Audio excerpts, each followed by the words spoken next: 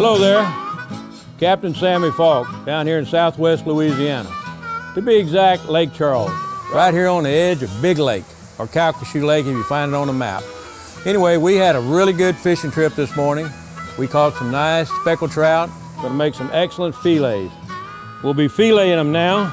I'll show you.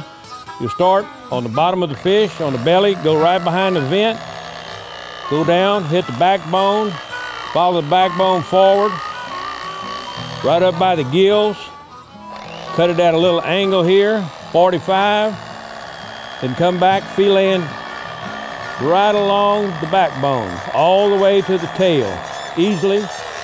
Flip it over real easy and run that fillet knife down and remove the fillet from the skin. One nice little fillet ready right there. We'll try it one more time on the other side. Little diagonal cut right behind the, gill, the gills there. Right along the backbone. You got it. All the way back here to the tail. Flip it over. Cut it off of the uh, skin. And there again, have another fillet.